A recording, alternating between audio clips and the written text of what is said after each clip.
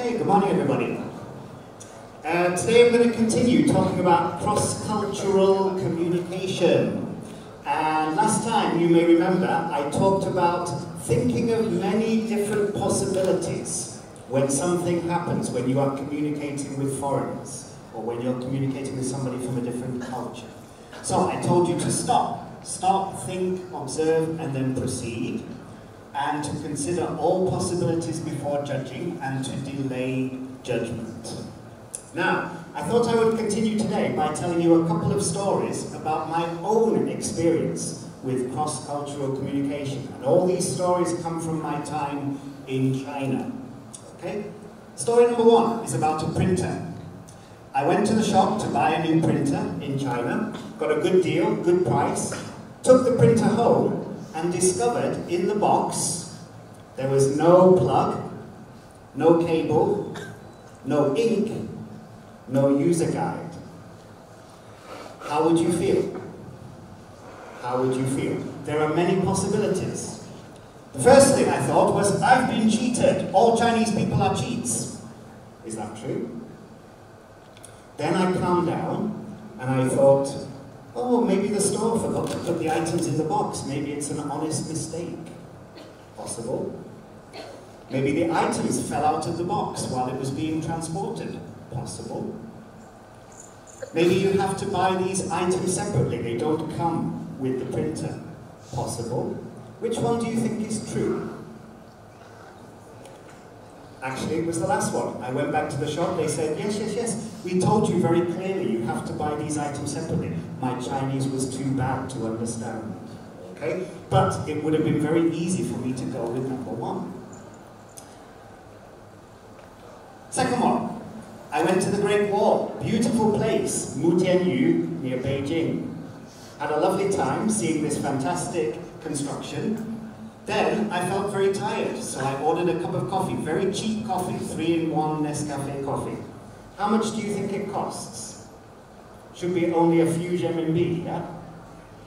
I was charged 70 renminbi. What would you think if you were me? I've been cheated. All Chinese people are cheats. It's possible. Are there any other possible answers? Tourist sites always charge higher prices. That's the way it is. Possible. Remote locations always charge higher prices. The Great Wall is far away from the city. It costs a lot of money to transport goods to that place. So maybe the sellers have to get this money back somehow. All the stores charge the same high price. It's not just one store. Every store is the same. Which do you think is true? Actually, all the stores charge the same price. I walked around all the cafes, all the restaurants, they all charge 70 renminbi for a cup of coffee. But I could easily have chosen the first one. I've been cheated. Taxi. I took a taxi in China. The meter said 60 renminbi. I gave 100 renminbi. I took my change. I went back home. When I got back home, I found my change was only $20, not $40. What will I think? I've been cheated. All Chinese people are cheats. Possible. Any other possible interpretations? Honest mistake by me or the driver. Could be. Maybe some extra charges I don't know about. We talked about this last time. Could be road tolls, could be baggage charges, could be busy time charges. Could be. Actually, the real answer was this one. Because when I arrived home, about an hour later, a knock came on my door. I opened the door, there was the taxi driver. He had found me, he said, I'm so sorry, I gave you the wrong change, here is another $20. It was an honest mistake. But it would have been so easy for me to jump, jump to number one and say, I've been cheated, all Chinese people are cheats. And notice the first sentence. It's very easy to go from this guy cheated me to all people actually. It's very easy cross-cultural communication. Last example, shoes. I went to a shoe shop in China, found some shoes I like. It's very difficult for me to find shoes, my feet are too big. So I found these shoes, very happy, went to pay. The shop owner said, no, no, no, no, no, don't pay any money. Let me give it to you as a gift. I said, no, I must pay money. No, take it for free. No, no, no, no, no. Eventually, I took the shoes for free. What did I think? I've not been cheated. All Chinese people are wonderful. Possible. The shop owner is a kind, friendly, generous person. Possible. Nobody wanted the shoes, so he was happy that I was taking them. Possible. The shop owner is very rich. He doesn't care if he gets money for the shoes. Possible. He maybe wanted something else from me. Possible. Which one do you think it is? I found out later it was this one. When I went back to the shop later, a couple of weeks later, there was a big picture of me in the window of the shop wearing these shoes, and underneath the picture it said, I have international customers. He used me for advertising, okay? Did I feel angry? Not so much. I got free shoes, okay? So, these stories tell you don't always jump to the first interpretation when you are talking to foreigners, when you are talking to somebody from another culture. There could be other answers. Okay? Now, a lot of the problems in cross-cultural communication come from expectations. And I'm going to give you another example of this. One of the enemies of cross-cultural communication is expectations.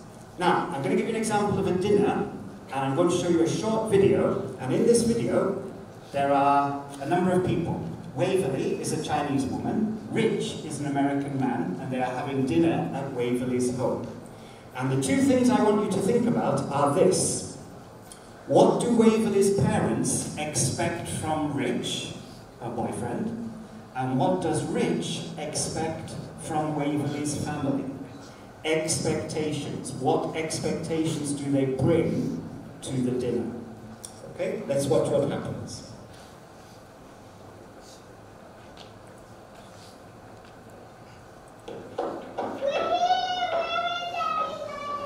The next week I brought Rich to Mom's birthday dinner, sort of a surprise present. I figured she was going to have to accept Rich, like it or not. Oh, Rich, this is my father. How you doing? Happy birthday. I'm good. And Mom, this is Rich. Great to meet you. Boy, something smells wonderful. I guess we came to the right place, huh? Here you are. You know, Waverly has been telling me that you are the best cook.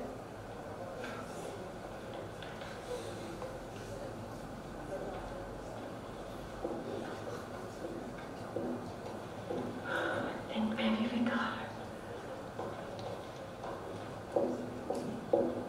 So many spots on his face. Of course, the night was still young. Thank God I already prepped him on the Emily Post of Chinese manners. 我敬一杯酒， Actually, there were a few things I forgot to mention. Uh, let me make a toast. He should have had that second glass when everyone else had had only half an inch just for taste.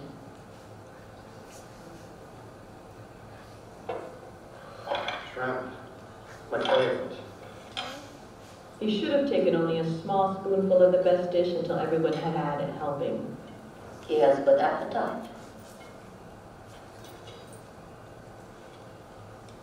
He shouldn't have bragged he was a fast learner. But the worst was when Rich criticized my mother's cooking, and he didn't even know what he had done. As is the Chinese cook's custom, my mother always insults her own cooking, but only with the dishes she serves with special pride. This dish is not salty enough. No flavor. It's too bad to eat. But please. That was our cue to eat some and proclaim it the best she'd ever made. You know, Linda, this needs is a soy sauce.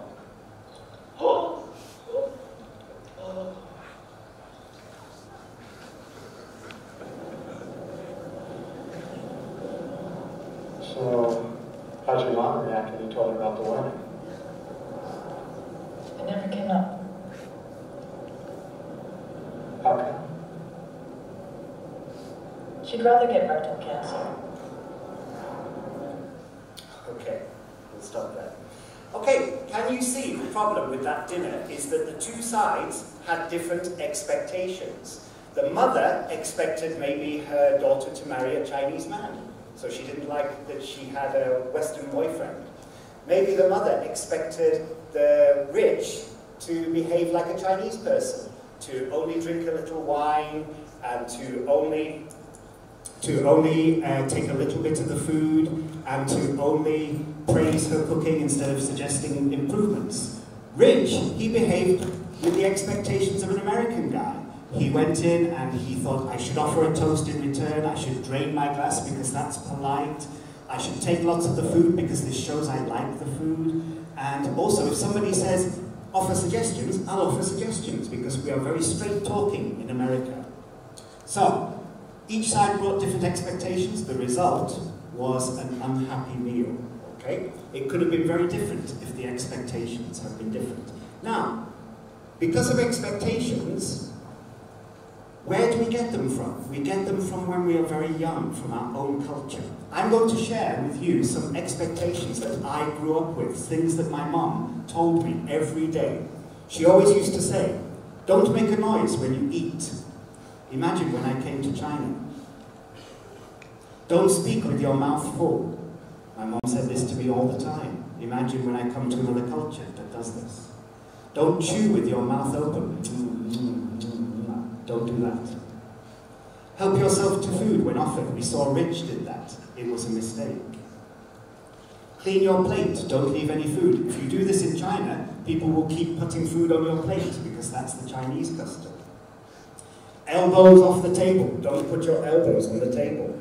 So when I see people in Hong Kong or China do this, I feel uncomfortable. That's what I grew up with, elbows off the table. Offer to wash the dishes. If you go to somebody's home, you finish eating, you offer to wash the dishes. Doesn't happen here. Say please and thank you a lot.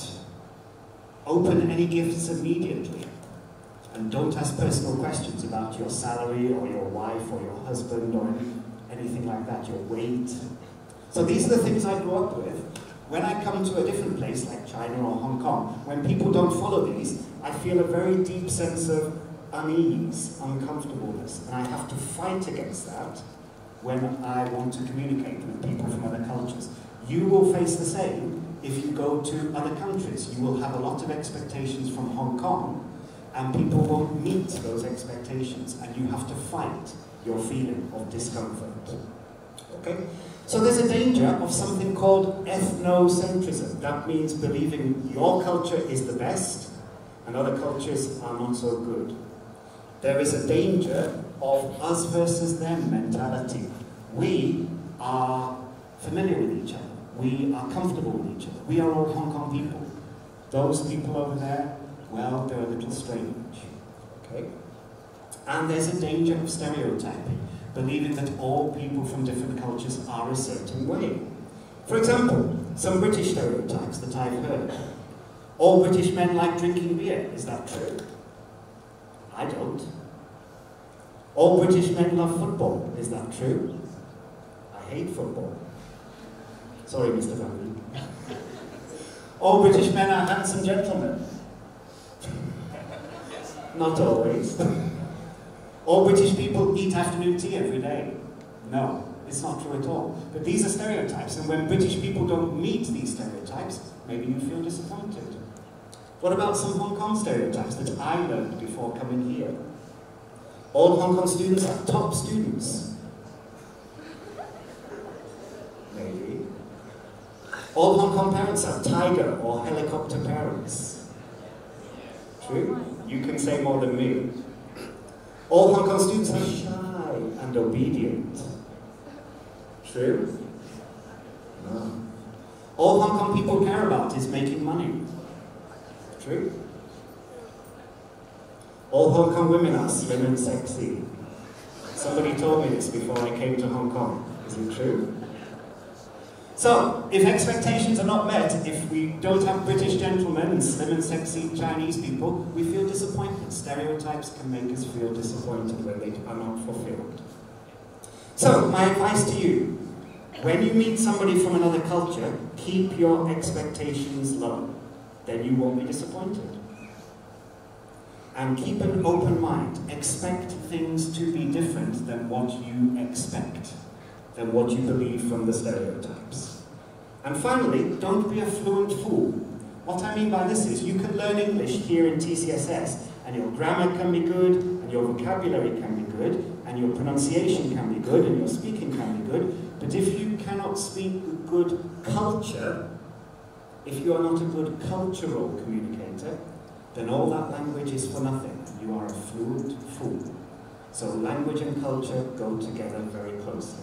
And I hope in the future you have lots of chances to practice what I've talked about today. Thank you.